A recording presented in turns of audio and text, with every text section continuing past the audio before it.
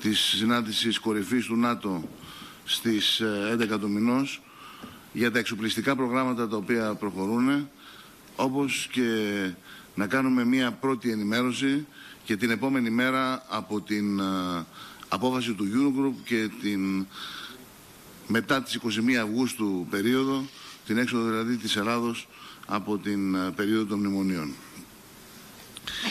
Να ξεκαθαρίσουμε λοιπόν ορισμένα πράγματα από την αρχή. Πρώτα απ' όλα, ε, η απουσία μου χθε από το Υπουργικό Συμβούλιο ήταν λόγω του χειρισμού μιας υπόθεσης σε σχέση με το Υπουργείο Άμυνας και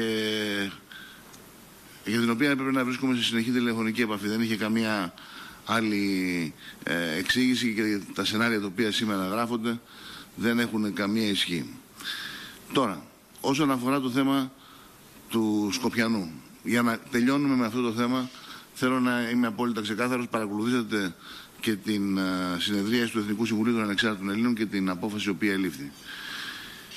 Για μας, το σχέδιο συμφωνίας των Πρεσπών δεν έχει καμία βαρύτητα και καμία δέσμευση για τη χώρα μέχρι την κύρωσή του από την Βουλή των Ελλήνων.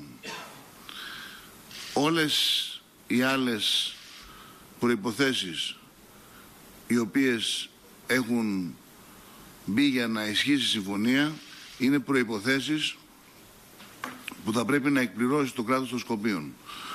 Χωρίς αυτές τις προϋποθέσεις βρισκόμαστε και θα βρισκόμαστε μέχρι την κύρωση από την Βουλή των Ελλήνων στην εποχή της απόφασης του Βουκουρεστίου. Συγκεκριμένα, η προϋπόθεση για την πρόσκληση στο ΝΑΤΟ ήταν η κύρωση από την Βουλή των Σκοπίων της Συμφωνίας των Πρεσπών. Εδώ θέλω να σας ξεκαθαρίσω ότι ακόμα και αυτή η κύρωση η οποία έγινε σε πρώτη φάση στα Σκόπια δεν είναι έγκυρη διότι δεν φέρει την υπογραφή του Προέδρου της Δημοκρατίας, της πρώην Ιουγκοσλαβικής Δημοκρατίας της Μακεδονίας. Δεν έχει λοιπόν και αυτή ως απόφαση καμία ισχύ. Δεύτερον, όπως δήλωσε ο Πρωθυπουργός, ο Αλέξο Τσίπρας, αλλά και ο Γενικός Γραμματέας του ΝΑΤΟ, ο κ. Στόλτεμπεργκ, δεν μπορεί να υπάρξει καμία δέσμευση της χώρας και καμία διαδικασία στο ΝΑΤΟ εάν δεν τελειώσει το δημοψήφισμα στην, στα Σκόπια η ψήφιση από τη Βουλή και οι συνταγματικές αλλαγές οι οποίες να έχουν επικυρωθεί. Για να τελειώνουμε με τη συζήτηση αυτή θέλω να δηλώσω ξεκάθαρα αναλαμβάνω εγώ την ευθύνη σαν πρόεδρος των Εξάρτητων Ελλήνων που είμαστε κόμμα, κίνημα που συγκυβερνούμε ότι δεν πρόκειται να έρθει σε κύρωση η συμφωνία χωρίς την άποψη του ελληνικού λαού. Ο ελληνικός λαός θα αποφασίσει. Εκτός και αν έρθει με 180 βουλευτές και η Νέα Δημοκρατία και το Πασό καλάξουν την στάση την οποία έχουν. Εκεί δεν θα μπορέσουμε να κάνουμε κάτι. Δεν πρόκειται όμως να επιτρέψουμε, χωρίς την έγκριση του ελληνικού λαού, η οποία γίνεται με δύο τρόπους, είτε με εκλογές είτε με δημοψήφισμα, να προχωρήσει η συμφωνία. Αναλαμβάνω εγώ την ευθύνη. Κύρωση συμφωνίας δεν θα υπάρξει. Τώρα, όσον αφορά τα θέματα τα εξοπλιστικά. Θέλω να σας ενημερώσω ότι είμαστε σε ευχάριστη θέση να είμαστε στην τελική φάση πλέον των διαπραγματεύσεων για τα F-16 και την αναβάθμιση των F-16. Ήδη έχουν ολοκληρωθεί οι συνομιλίες με την Αμερικανική πλευρά και πιστεύω ότι μέσα σε επόμενες μέρες και μέχρι τέλος την έκθεση Θεσσαλονίκης θα έχουμε ολοκληρώσει τις διαδικασίες όλες.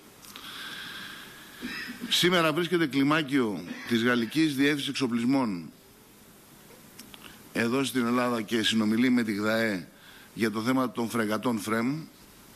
Έχουμε μπει πλέον σε διαδικασία συζήτησης για τις φρεγάτες ΦΡΕΜ βάσει της απόφασης του ΚΙΣΕΑ της, ε, του 2009.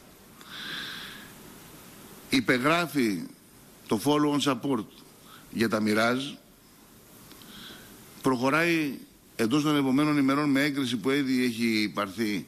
Είναι σε καθαρά διαδικαστικό θέμα το follow-on support για τα, F, για τα, για τα C27 Και παράλληλα έχουμε αποστείλει προς την Αμερικανική πλευρά, κατόπιν αιτήματός της, έναν κατάλογο από μέσα τα οποία χρειαζόμαστε για τις ένοπλες δυνάμεις της χώρας. Θέλω ακόμα να σας ενημερώσω ότι έχουν προχωρήσει όλες οι διαδικασίες προκειμένου οι ένοπλες δυνάμεις της χώρας να είναι έτοιμες να ανταποκριθούν στις υποχρεώσεις που θα προκύψουν μετά τις ανακηρύξεις της ΑΟΖ. Θέλω τέλος να σας ενημερώσω ότι οι υποχρεώσεις οποίες έχουμε λάβει σαν κυβέρνηση και εγώ ως υπουργός, απέναντι στο προσωπικό των ενόπλων δυνάμεων από την ανάληψη των καθηκόντων μου σε συνεννόηση με την κυβέρνηση σε σχέση με το μισθολογικό θα ικανοποιηθούν. Είμαστε σε διαπραγμάτευση αυτή τη στιγμή με τον Πρωθυπουργό και το Οικονομικό Επιτελείο και πιστεύω ότι μέχρι την έκθεση Θεσσαλονίκης θα μπορέσουμε να το ανακοινώσουμε και επίσημα. Είμαι στη διάθεση για ερωτήσεις. Κύριος Μαζανίτης. Κύριε Υπουργέ, ε, η ερώτηση μου έχει να κάνει σχετικά... Ο κύριος Καμένος έκανε λοιπόν την αρχική του τοποθέτηση, διέλυσε όλα τα σενάρια τα οποία